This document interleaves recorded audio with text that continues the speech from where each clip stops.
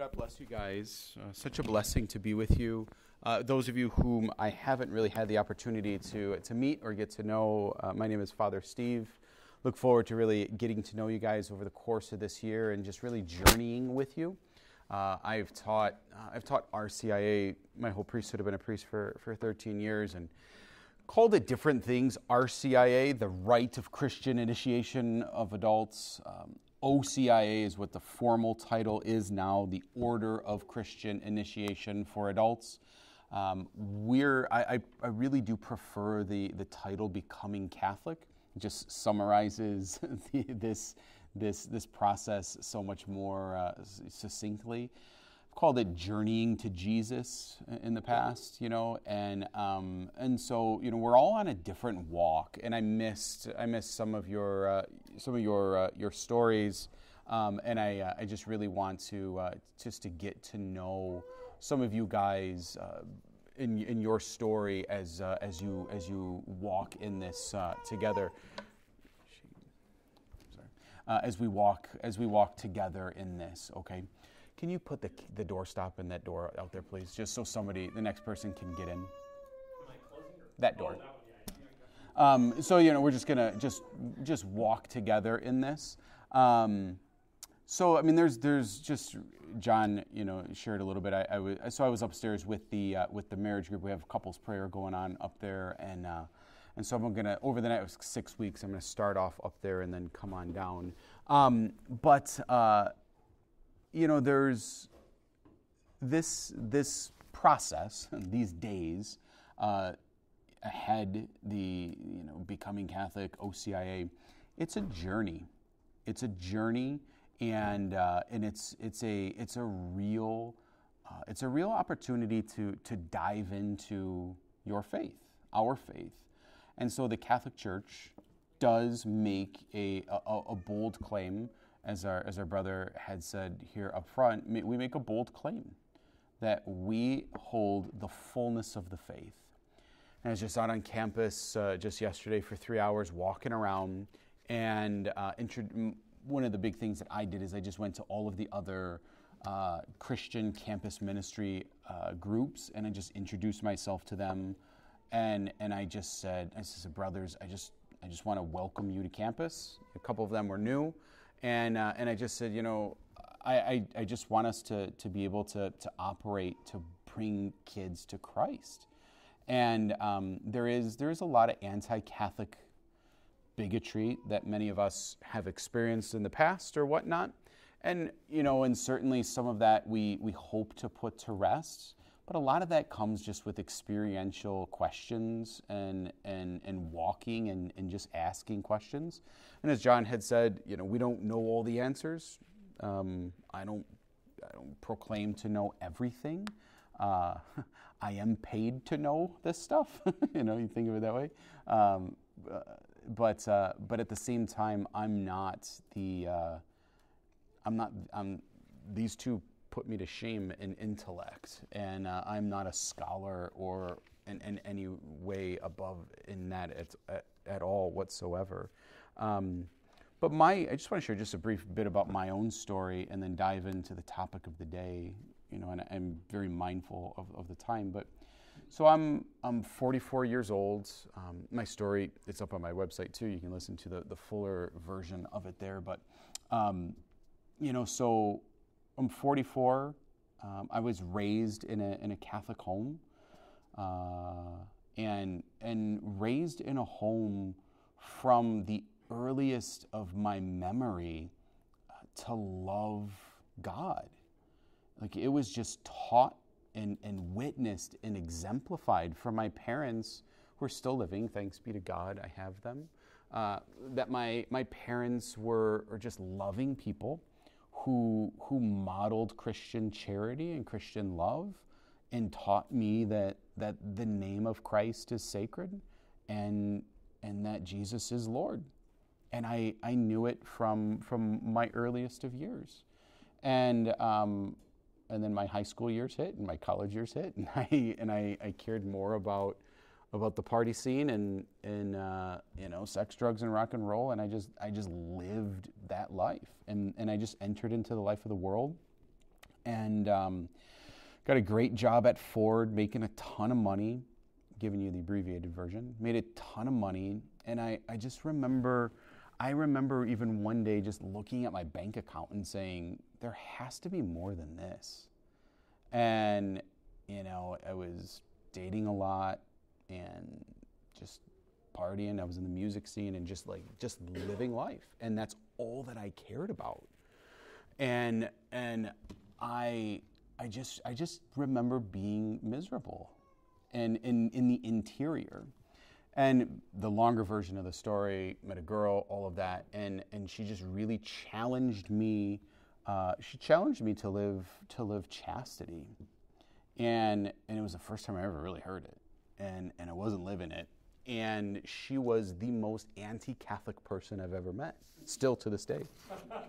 Hated Catholics, and um, and so I was working at Ford, and and she was actually my, my boss, which is probably inappropriate on her end, but um, but uh, but uh, and and it was it was it was just this. It was it was the it was beautiful because it was the first time and all of that and and recognizing that I that there was that there was something in that, and um, and in the relationship, it was she was just constantly calling me out, and I wasn't even going to church. She's just calling me out on Catholic stuff, and um, and I, I just started to explore why it was the Catholic Church taught what it teaches to answer her, right? I don't know. I started going to church with her was going to it was Life Church in Ann Arbor or wherever. Started going to church with her and had it was just um, praise and worship, a non-denominational church, and and that it was it, right? But it was just just answering her questions, and one day I, I decided to I was fixing up my house, putting in a new new kitchen. my dad was with me, and um, there's a lot more to the story, but I just said, Dad, I haven't been to Mass in a really long time. And he said, I know. I said, Dad, I want to go to church.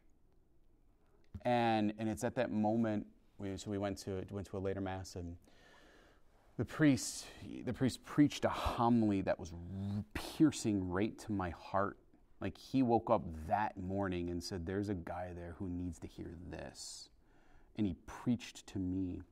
And um, and and there's this moment in the in, in, the mass where the priest raises up the Eucharist and he says, "Behold the Lamb of God! Behold Him who takes away the sins of the world." And and I looked at the Eucharist, and I said, "I believe that is Jesus. I believe it." Everything that I had been being combated with and, and just kind of studying, it was it was all head knowledge. And at that moment, it went from my head to my heart, and I just I went up for communion. I fell to my knees and I just received Jesus. And I came back to my pew and I just wept, just sobbed.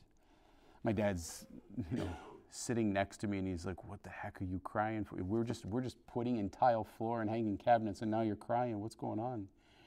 And I and I I said to Jesus in the, in in my hands as I'm weeping, I said, "Lord, I don't want to be a better man for a woman." I want to be a, I don't want to be a better man for the world. I want to be a better man for you. And I give my life to you. And I just, I just surrendered. And I remember taking my tears and, and just marking the sign of the cross in the pew. And I go back to that pew all the time when I'm back in that area. And I, and I just sit there. And I, I said to the Lord, I said, okay, Lord, I'm yours. Do with me what you want. And went back to confession and I just started living for Jesus. And, um, the furthest thing from my mind was priesthood, which is kind of part two of the story, which we can continue another time. But the furthest thing was priesthood. I, I didn't didn't think that that was gonna that he was gonna call me in that direction, but he did, and uh, and I'm here. So, so the Lord has something to uh, something to speak into our into our hearts through our intellect, through our mind, through our study, through the through this the sacred Word of God, which many of us in in our own uh, faith traditions may have experienced in a lot of different ways, the Lord also has something to say to us in the church's teaching, right? In what she has solemnly professed for 2,000 years. And, and then she had, the Lord has something to say to you in community. Amen. That, that we want to build, you know, a, a, a community here at the tables. So some of us are aren't walking through the RCIA or OCIA program, um, and we're just going to have some t- table leaders just to help help guide you guys along the way. And so we just want to form some small communities in that. Um, there's Bibles on the table um, because uh, we did plan to do this on rather short notice. Because again, the Lord's prompting, truly the Lord's prompting, and and those of us know what the Lord has done here very quickly. Uh, and I didn't. We we really be patient with us. We really are kind of playing a little bit of catch up, but we know what we're doing. Um, I did order some some special Bibles for you. They're called the Catholic Answer Bible. Anyone ever seen it or have one? They're really great. Uh, you'll they'll be here next week, and then uh, a copy of the Catechism of the Catholic Church as well. This guy's almost done with it, so you can you can give your copy to someone else. so we got a Catechism for you and a Bible as well. So those will be here next week. Just bring that with you. Um, we John emailed out the schedule to you. Uh, if you need a hard copy of that, I can certainly we can print those out for you too. But stay close attention to that. So uh, attendance is expected, um, right? Everyone had People have babies, people get sick, there's snow days, stuff happens. But, you know, it is an opportunity, uh, you know, when, I, when I'm doing baptismal prep or I'm baptizing a child, you know, I always say that it's an, it's an opportunity of, um, not accountability, it's an opportunity of, of, of ownership, right? They, that this, this is investing in something, and it's investing in the most important things. So, um, John, John and Beth and Leslie are, are kind of the, the main coordinators of this, and so a huge special thanks to them. Myself, Jay, and them and, and others will be teaching throughout the course of this. I'll be present. um, and lastly, you know, there are there are some of us who are here who aren't in the program, who aren't in the OCIA, uh, you know, table leaders and you know the coordinators and all that. Just the way what I've found best is for those of us who aren't in the in the process is uh, is is to have them not ans- ask questions uh, so that to leave the questions to those who are in the process. Okay did you already say that john? Yeah so just to, to leave to leave that to uh, to those who are in the process. And um, sometimes there can be some awkward silence or whatever but we'll, we'll uh, we'll, we'll get comfortable with each other and we'll, we'll walk the journey together. I'll record all of my talks. They'll be, be up. Uh, you can listen to that. Maybe we'll, we can just record everything. Okay, so the, uh, we've already prayed, but why don't we just uh, pray a Hail Mary and we'll, we'll give you guys uh, all the, the prayers, the Catholic prayers. We're going to have a session on that and we'll teach you how to pray the rosary and everything. So uh, we'll, we'll learn it all. So if you don't know the Hail Mary yet, you'll learn it. In the name of the Father, and of the Son, and of the Holy Spirit. Hail Mary, full of grace, the Lord is with thee. Blessed art thou amongst women, and blessed is the fruit of thy womb, Jesus. Mother of God, pray for us sinners. Amen. so I I was tasked with being the uh, the first speaker to speak on the, the image of God, God the Father, and kind of some proofs for the existence of God. Um, and I missed a number of your, your introductions. So, again, forgive me. Some of us are coming, and so now I'm going to speak blindly at this, right? So, some of us are coming from absolute zero faith background. Some of us are coming from a, uh, you know, a, a non Catholic Christian Protestant background. Some of us are in a, a higher church Protestant, Anglican, Episcopalian, High Presbyterian Church. Some of us are non-denominational, you know, uh, megachurch. You know, so we're all in different experiences, and you know that's kind of a challenge to us. You know, we gotta we gotta look at that. But um, I think it's it's always important to start from a groundwork of of who God is. Right, so to understand who the Father is, and then work, you know, with that knowledge. So one of the one of the great one of the great trials that that we face in our in our modern day um, some of us are a little older than me, obviously, but uh, my my generation. I was born in '79 in the '80s, and uh, you know the you '70s babies and any '60s babies, a couple '60s babies, right? you '60s flower power people, um, you know you're you know it's the same thing in that generation that uh, the greatest struggle is is a is a father wound. There's a there's a lot of father wounds in our hearts, daddy wounds, and and and and, and a lot of that's derived to our own earthly father, but in that daddy wound, we attribute that back to God the Father. And the most important thing that, that we, as believers in the Lord Jesus, as sons and daughters of the Heavenly Father, that we can take away is that we are His and we have a good, good Father who claims us and who loves us. And so, as we carry those, that woundedness in a very real way, real woundedness, as we carry that, um, we have an opportunity to be healed in that. If we can offer that brokenness to a father who doesn't scold us, who doesn't beat us, who doesn't harm us, who doesn't yell at us, who didn't abandon us, who loves us in great, great mercy. So, um, so looking at, at God the Father first, right? So, so we have to say a little bit about the Holy Trinity and we're going to have a whole a whole course on the Trinity itself. Um, but it, but but knowing that right, so that that we cannot speak of of God without speaking of the the the, the triune Godhead, as as we would say. So it, it isn't something that, that we as Catholics take lightly.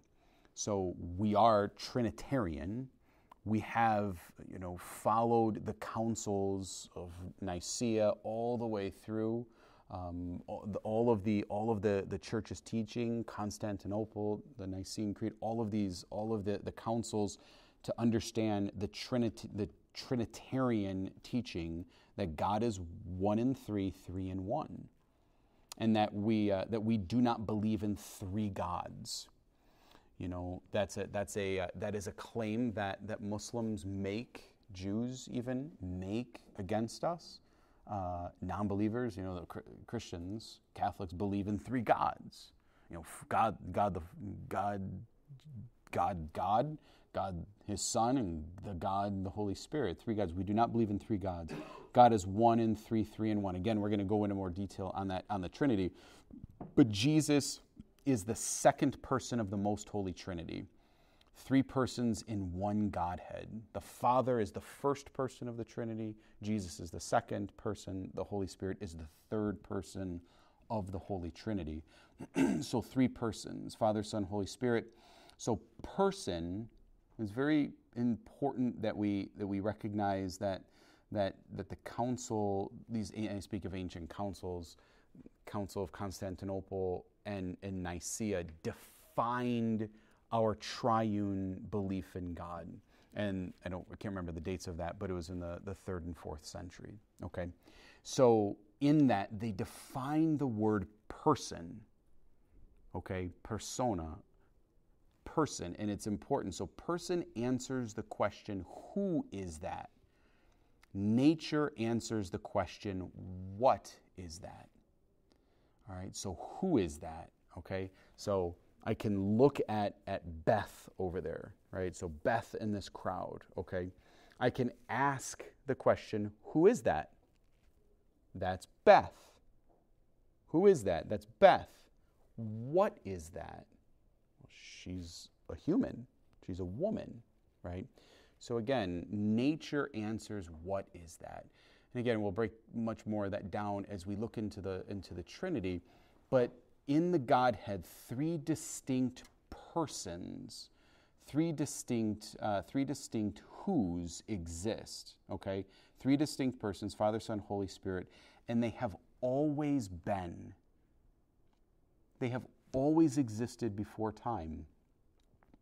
So God the Father did not predate the Son. The Son did not predate the Son. They have existed for all eternity.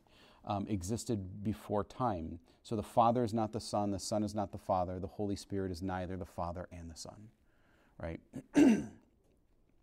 God sends his Son Jesus to do something. Um, he sends his Son to do something, a person, a divine person. I am a human person. You are a human person. And then there is the angelic persons, right? Angelic persons. And, and so Jesus is sent to do something. What is, what is Jesus' name? What is, I'm sorry, what is Jesus' name? What does Jesus' name mean? Anyone know what his name means? God saves. God saves, right? So God saves. So he sends, he sends his son. he sends his son to do something, to save. And, and what's in a name? A name is, is sacred, especially in the, in the scriptures.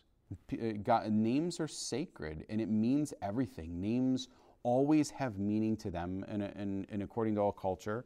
Um, and so God's very name is who He is, and it's what He does. And so the Lord has come to save you and me from sin and death, from, uh, from hopelessness and despair to save us from, uh, from agony, to give us hope, to give us life. And He's come because He has been sent. That's important. He has come because He has been sent. Jesus, Jesus comes to do one thing. He comes to do one thing, and throughout, and some of us have never even picked up a Bible. Throughout, uh, Jesus comes to do one thing, and throughout his entire life, throughout this entire beautiful book, He's just telling us why He's come. I've come to save you, and I've come to reveal the Father. I've come to reveal who God is. So, if you have a pen and paper, I just want to go through a, a, a, couple scriptures here, first of all, and I'm going to read them. You don't have to go through your Bible, we don't have to go through all of that, but why don't we just write them down first of all? I'll give them to you. I'm sorry. First one is Colossians 1:15. Colossians 1:15. Second, that's 1 colon 15. Um, chapter 1, 15 is what that means. The Gospel of John, John 1 colon 18.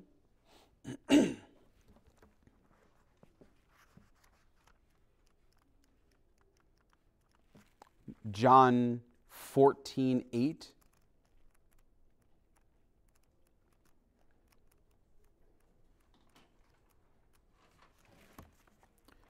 John 12, colon 45.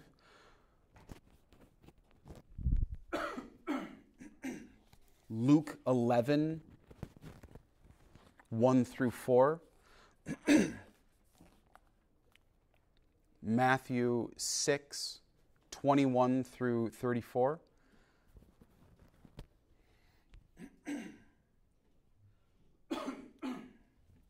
And lastly, Matthew 11, 27. We're going to start in Colossians 1:15. Again, you don't you don't have to go there. I'll read it for us, okay? Go back to 14. I got one. in whom in whom we have redemption, the forgiveness of sins. He is in the image of the invisible God, from the firstborn of all creation. Let's jump back to you know verse 13. he delivered us from the power of darkness and transformed transferred us to the kingdom of his beloved son, in whom we have the redemption, the forgiveness of our sins. He is in the image of the invisible God, the firstborn of all cre- creation. For in him were created all things in heaven and on earth, the visible and invisible. so, in that, um, this, that is, this is who Jesus is. He is the impression of the invisible God. He makes the, vis- the invisible visible in his very presence.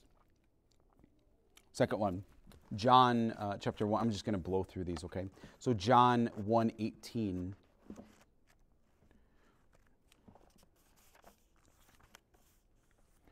John 118 No one has ever seen God, the only the only son of God who is at the Father's side has revealed him. Why did Jesus come? To reveal the Father. And Jesus is always pointing back to this. God has no body, no, no body. Um, the only begotten Son, the divine Son, the, the one nearest to the Father, has revealed the Father in his glory. Okay? And so um, we've all seen, you know, really tacky pictures, perhaps even of, of God the Father. And um, art has tried to depict that. There's probably even one in this Bible. There's kind of a famous one of, you know, it's kind of tacky 60s edition of just the Father holding the Son. Um, and, and, and again, you know, in, in Christianity, that, that's a beautiful thing that to, to try to, to, to make those images. But at the same time, the Father doesn't have an image. And the, the Son has revealed him. Okay, next one, just a, uh, a little bit behind, uh, I'm sorry, a little bit forward. John chapter 14, verse 8. 14, verse 8. So, so the context of this uh, is good to know. So this is in John chapter 14. This is the this is the uh, the the Last Supper, and at the Last Supper, um, this is this is right before Jesus' betrayal, right before his one of his best friends completely betrays him. And Judas Judas is is in preparation of that, and Jesus is is fulfilling the uh, fulfilling the Father's command to prepare his his people for the Paschal sacrifice. We're going to get into all of that, but uh, but so the so Jesus is receiving this question from one of his best friends, Philip. So Philip says to him, Master, what's he going to ask him? Show us the Father. Show us the Father, and that will be enough for us. And Jesus says to him, have I, have I been with you for so long a time, and still you do not know me, Philip? Whoever has seen me has seen the Father. How can you say to us, say to me, Show us the Father? Do you not believe that I am in the Father and that the Father is in me? The words that I speak to you, I do not speak on my own. The Father who dwells in me is doing his works. Believe in me that I am in the Father and the Father is in me, or else believe because of the works themselves. These are Jesus' words right before he dies that he is equal to the Father, that he is in the Father and the Father is in him. We're going to jump back just two chapters, John chapter 12. John chapter 12, verse 45. Jesus cried out, Whoever believes in me not only believes in me, but also in the one who sent me. And whoever sees me sees the one who sent me. Whoever sees me sees the one who sent me. And so trying to get a trying to get clear here that, that Jesus is never pointing just to himself, but, but that he's pointing to another. He's pointing the way back home, back to the Father, always pointing to the one, the one who sent him. For this reason, this is why I have come. This is why I have come. Luke 11, Luke 11, 11, 1 through 4 so this is important, right? So the sacred scriptures are clear that that Jesus makes himself equal with the Father. the the uh, the apostles are asking Jesus how to pray. Lord, teach us how to pray. Or at a certain place, Lord, teach us how to pray. John taught his disciples, and he said to them, When you pray, Jesus said to them, and when you pray, pray like this Father, hallowed be thy name. Hallowed be your name. Your kingdom come, right? So that's so important. Who is God? He is Father. And in, in the way that Jesus chooses to teach his beloved how to pray is in the Father. Okay? And, and lastly, um, lastly, oh, I'll end on that next one. So, yeah, so lastly, Matthew chapter 6. There's a couple more, but we'll end with Matthew chapter 6. Got to get moving here. Matthew chapter 6, uh, 25 through 34. Anyone ever experienced anxiety before in their lives? Uh, Matthew chapter 6. Read Matthew chapter 6. I'm sorry. I went to Matthew 25. Matthew 6, 25 through 24. So, so this is all about anxiety of the world. How do, what does this have to do with, with the Father? Dependency on God. Therefore, I tell you, do not worry about your life, what you will eat, what you will drink, about your body, what you'll wear. Is not life more than food, body more than clothing? Look at the birds of the air. Do they not sow and reap? They gather nothing into barns, yet your heavenly Father feeds them. Are you are you not worth more than they? Are you not more important than those sparrows? Can any of you, by worrying, add a single moment onto your lifespan? Why are you anxious about clothes? Learn from the way that the wildflowers grow. They do not work and spin. But I tell you, even Solomon in all his splendor. So, so Jesus, I just want to skip down here. All of these things the pagans seek, yet your heavenly Father knows all that you need. But first, seek the kingdom of God and all of his righteousness, and these things will be given to you. So Jesus, uh, Jesus is, uh, is, is pointing the way to the Father, and that the Father knows what we need because the Father is good. Because the Father is good. we can turn to this. Open up our uh, very first book of the Bible.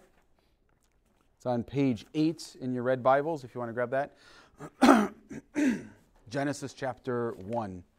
Genesis 1 1.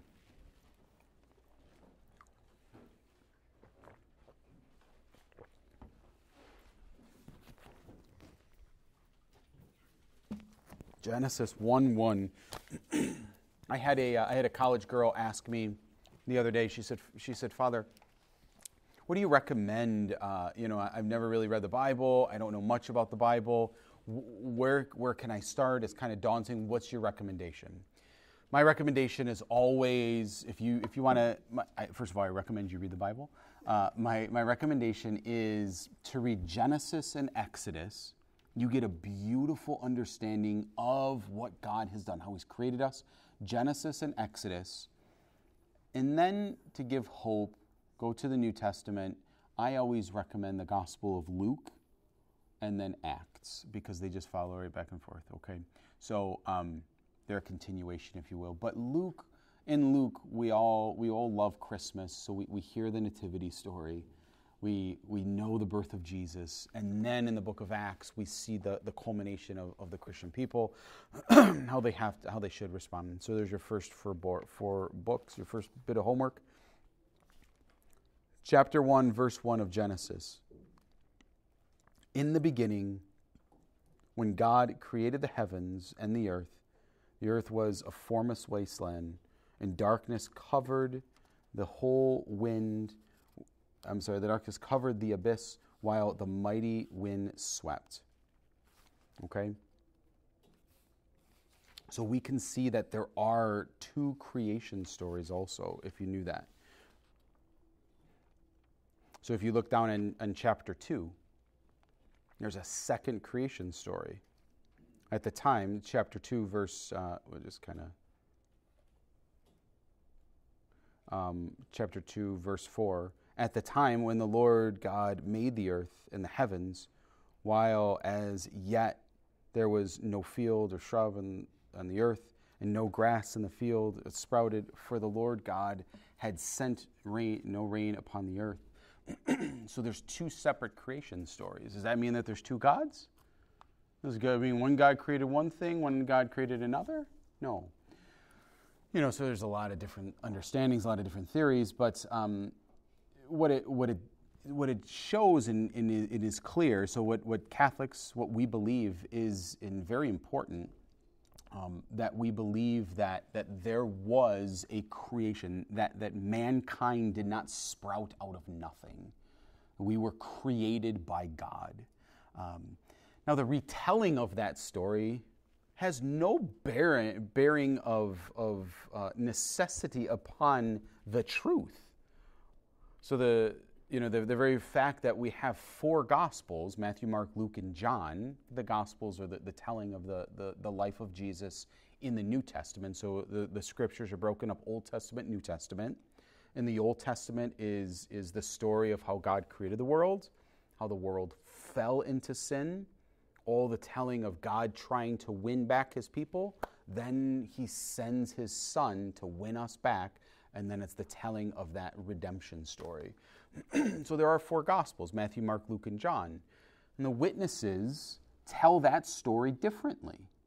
If you and I were standing out on the corner over here of Squirrel and, uh, and Walton and we witnessed a car accident, uh, Beth, Jay, and I would all say, yeah, you know, the, the, the white car hit the black car. But Jay's gonna be like, no, no, no, no the, the black car ran the red light and she's going to say no but that red car almost hit the black car that made the white car swerve. So we're going to all say yeah the, the, he hit him but we're all going to tell that story differently. That's exactly what's, what's taking place with the creation story. They're not they're not combating. It's a it's just a different take in a in a, in a poetic sense of god's creation. But the uh, but the but the point here is that God creates us out of love, not out of need. If we, if we read the creation story, we can see the beauty of creation. Uh, I was talking with my, with my doctor. I have some medical stuff going on. I'm going to have some big surgery coming up here at the end of the month. Um, and, uh, and I was talking with my doctor, and she, uh, we were just talking about how in the medical world, in the medical world, most doctors are believers. There's atheists, and there's there's certainly there's a there's a, a push for a lot of anti-Christian medicine and all of that. Trust me, it's there. But in the medical world, especially with nurses too, they're the ones who actually deal with the patients. They're not just dealing with with stuff. But in the medical world, most of them are believers because they see the human body and they see the, the dynamics of it and they've seen miracles but they've seen they, they see life coming into, into existence and they see life fade away. And there's something there's something real about that. In the psychological world in the world of, of the mind and if you just stay in your head psychologists and, and a lot of philosophers are atheists because they just try to talk themselves into anything and out of everything, right? So God creates out of, out of love, not out of need. He doesn't need me, but He loves me. For some reason, me.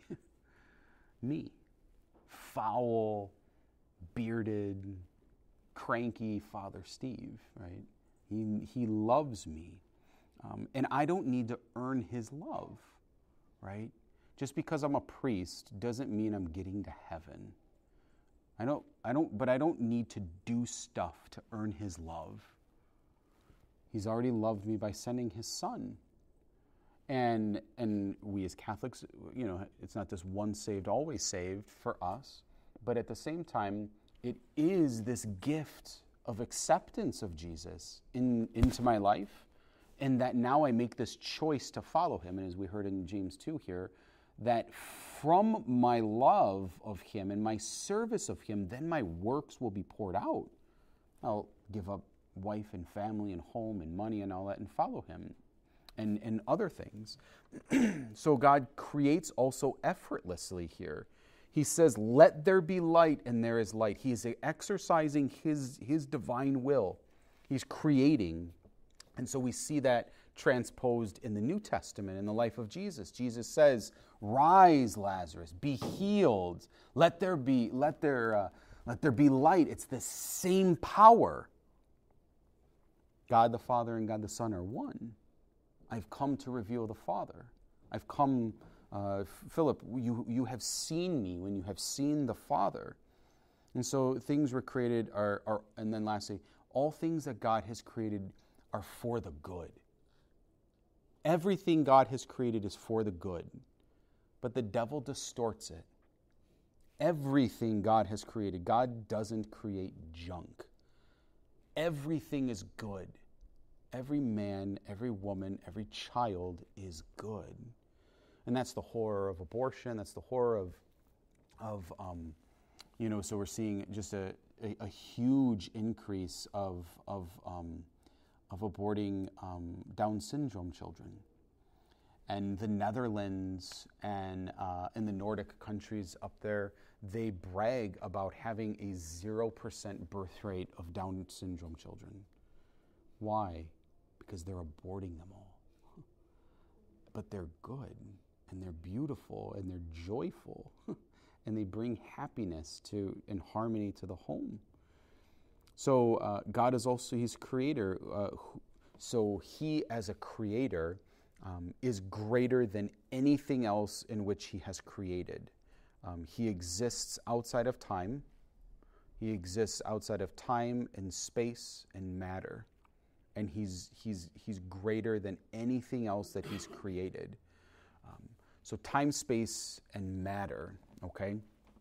Um, so, uh, so, time is about when, space is about where, and matter is about what time, space, and matter. So, in that singular sentence there in, uh, in, in, Genesis 1 1, we get, we get the when. In the beginning, right? In the beginning. When was it? The beginning. God created before all, God was before all time. He didn't come into existence. We're going to talk about this uh, verse so briefly because it's getting late. Um, but he is the unmoved mover. He is. He is. Okay? And so so the when we get the where. Where where is he? The heavens. He created the heavens when God created the heavens and the earth.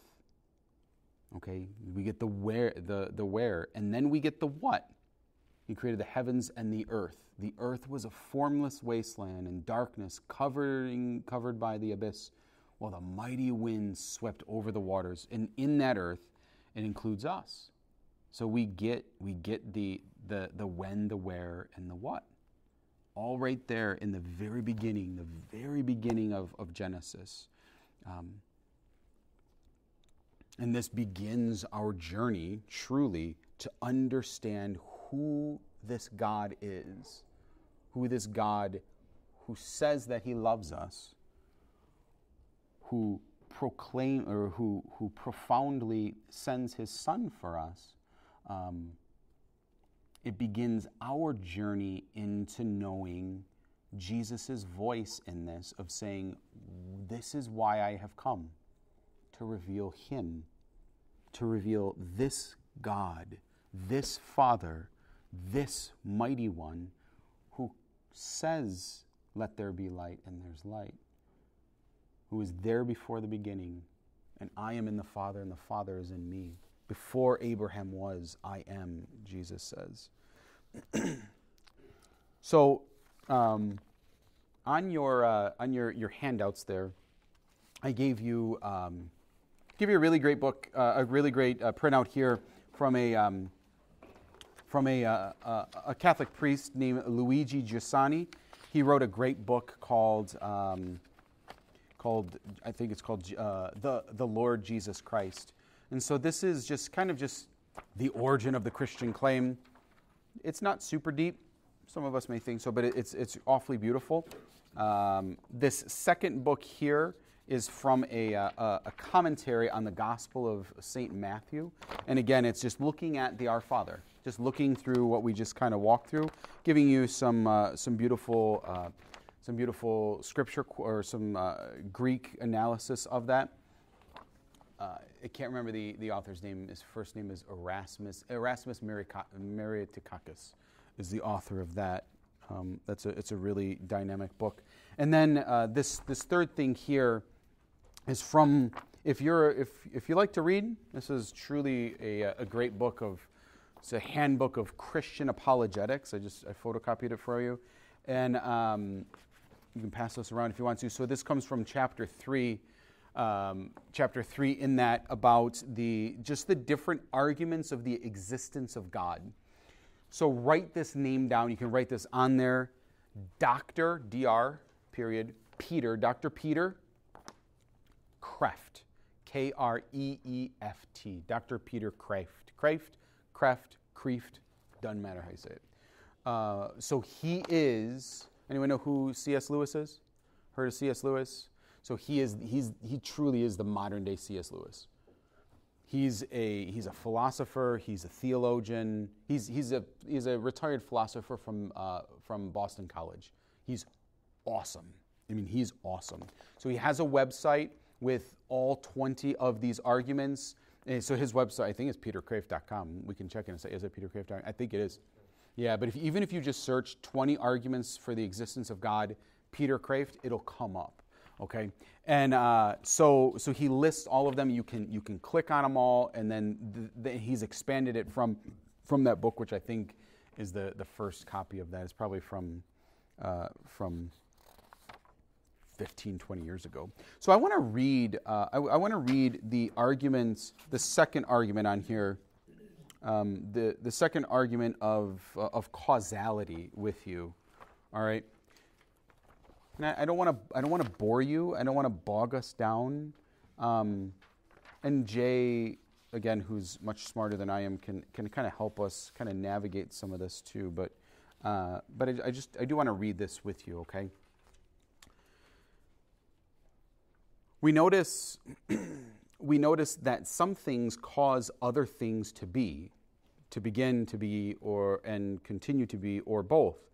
For example, a man playing a piano is causing the music that we hear. If he stops, so does the music. Now ask yourself are all things caused to exist by other things right now? Suppose they are. That is, suppose there is no uncaused being, no God, then nothing could exist right now. For remember, on the no God hypothesis, all things need a present cause outside of themselves in order to exist. So, right now, all things, including all those things which are causing other things to be, need a cause they can have being they i'm sorry they can they can give being only so long as they are are given being everything that exists therefore on this hypothesis stands in need of being caused to exist but caused by what beyond everything that is there can only be nothing i want to repeat that beyond everything that is there can only be nothing. But that is absurd. Of all reality dependent, but no dependent on nothing, but dependent on nothing, the hypothesis that all being is caused, that there is no caused being, is absurd. So there must be something uncaused, something on which all things that need an efficient cause of being are dependent. Existence is like a gift given from cause to effect. if there is no one who has the gift, the gift cannot be passed down the chain of receivers, however long or short the chain may be. If everyone is to borrow a certain book, but no one actually has it, then no one will ever get it. If there is no God who has existence by his own eternal nature, then the gift of existence cannot be passed down the chain of creatures t- passed down the chain of creatures and we can never get it but we do get it we do exist therefore there must exist a god an uncaused being who does not have to receive existence like us and like every other link in that chain of receivers so then there's kind of like St. Thomas Aquinas does, there's like a point, counterpoint, point, counterpoint. And, uh, and so, so there's a couple other proofs that I gave you here, but do check out that website. So what's interesting about these, all these arguments are purely philosophical. They have nothing to do with the Bible. They have nothing to do with Revelation. These are just reflections on why there has to be a God, whatever God would be like. And so all of these are, are completely intellectual arguments, and you can go through them and think about them. They get more complicated and more subtle. Um, but all, all, you know, all you have to do is, is find one of them that really resonates with you to give you that conviction uh, that that this is not only plausible, but it's very likely that there is a God. And then the next step is what we talk about. Once you believe there's a God, then then the whole thing is about Jesus, right? We'll talk a lot about Jesus over the course of this year. And once you you believe, yep, Jesus was here, Jesus existed, Jesus lived a great life, all these miracles, then that makes you Christian. And then once you're Christian, then we start talking about the Catholic. So it's really a process, depending on where you're starting and what you're thinking, where the issues are that are most relevant to you at that point as you work along this spiritual path. But anyway, I just think it's interesting to kind of reflect on the fact that these are just intellectual arguments, um, that there has to be a reason why we exist, and it isn't dependent on all of the other things that we will, of course, believe as well. But but that's not where this is coming from. This is this is you know Aristotle has some proofs before there was even Christianity. There were some of these kind of arguments going around. We just refined them, particularly Thomas Aquinas and some others. So. Has anyone ever heard of Pascal's wager? Only one of us. So Pascal's wager. So my two favorite proofs of God's existence is the existence of causality. Something has to exist in order for for me to exist. So that means God is sustaining you and me to be here right now. I only exist because the Almighty wants me to, which means I am loved. And even the most hardened of sinner, God is willing him to exist. Please God that he repents and comes back to him. And then Pascal's wager. So Pascal, uh, Blaise Pascal, was a French uh, philosopher in the uh, in the late 16, 1700s, but he he's famous on a very it's very basic, and it, I mean it gets a little more intricate, but it's very basic. But but he says, oh, it's very simple. Um, it, it's a wager. Um, you bet if there is no God, and then all of a sudden you close your eyes and you meet God, you have lost and then you bet that there is a God, and then you close your eyes and there's darkness, you won. You bet that there is you you bet that there is a God. You close your eyes in death, you open them, and there is a God. You've also won. So then, therefore, the odds are two to one in your favor. So bet on that there is a God and live like there's a God, and you still live a happy life. so very simple, very basic, and it's it makes uh, it makes for the Christian life uh, to be to be uh, one of reward. Any uh, any thoughts, comments, questions on uh, on our relationship with God the Father? I had to cut a few things out just on time, but I think we're fine.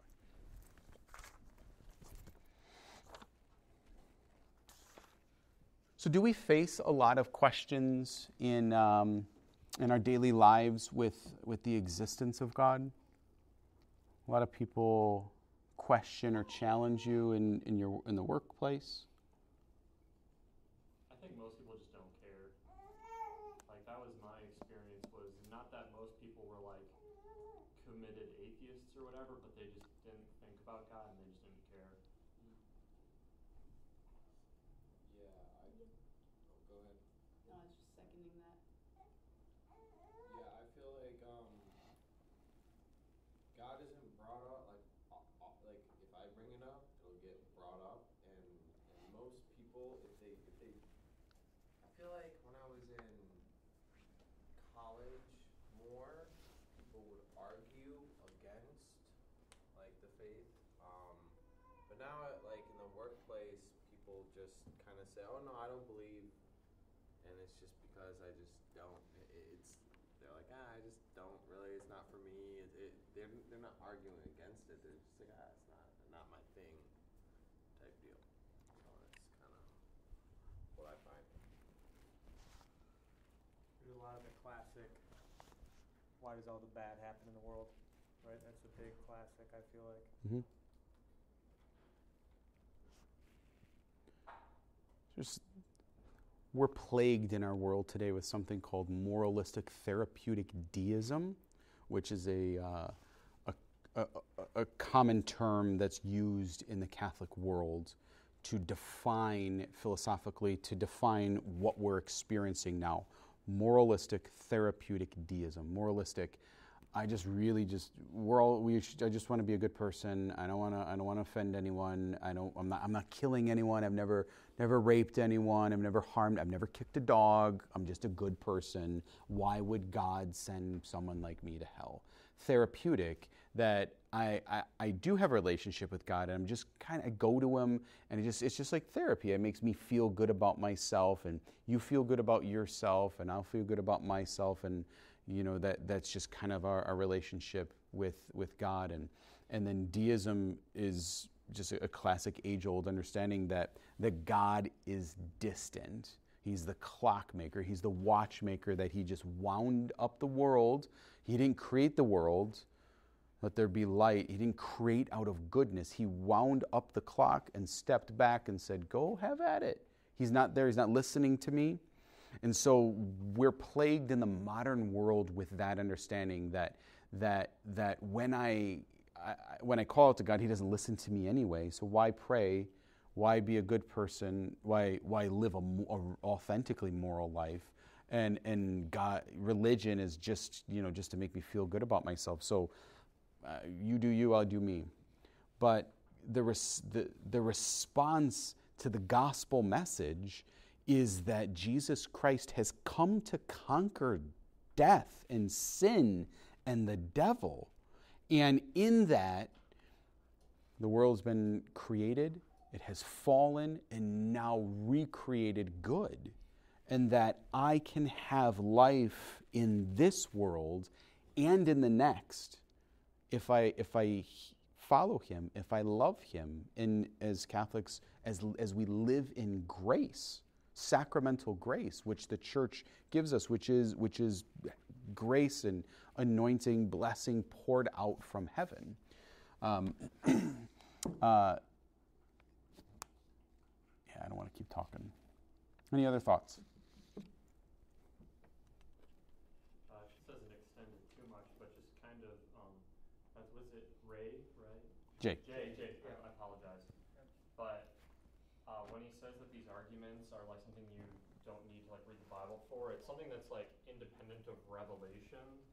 So it's something that like people say, oh, like you believe in God because like the Bible, it's like faith is just like a thing you either do or don't have. But like certain aspects of the faith, like the existence of God and the, um, certain qualities of God, are can be derived completely independently of revelation, um, and that's called natural theology, and even Plato um, had some idea of heaven, some idea of the beatific vision through just natural theology, but then stuff that pertains to revelation, like who God is, who Jesus is, that's fundamentally revelation, and you can position yourself to more credibly believe in it, like more uh, dispose yourself to believe in it more, but it ultimately still is um, it still is just from God alone, and it is um, all grace alone. And in this reading, when it says, Who do you say I am? You are the Christ. In Matthew, it says, Flesh and blood has not revealed this, but God Himself has revealed it to you.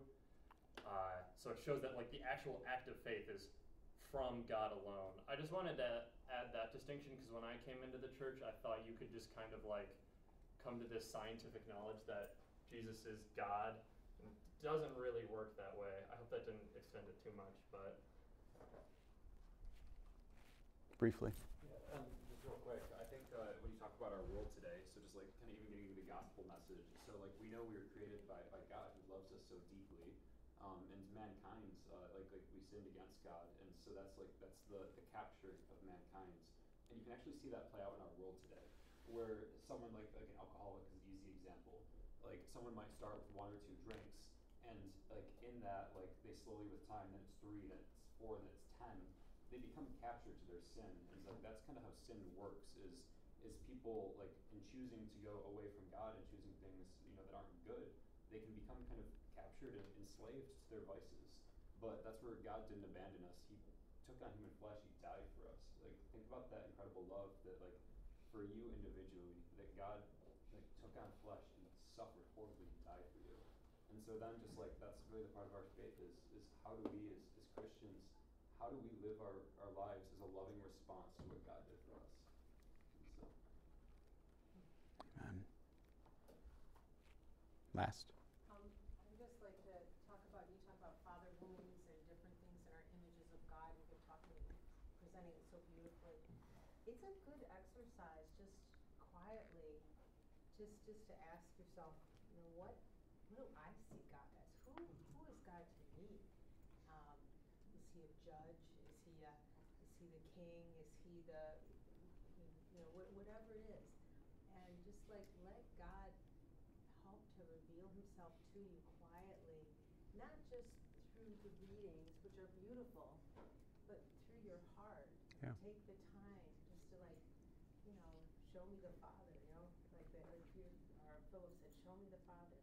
Lord, show me who you are and help me to, to, to recognize you more.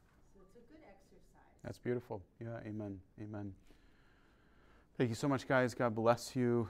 In the name of the Father, Son, and Holy Spirit, Jesus, we praise your glorious name and continue to give us strength to know that you have revealed the Father and show, show us the face of the Father, Lord Jesus, as we walk this journey with you. We ask it all in your name, Father, Son, and Holy Spirit.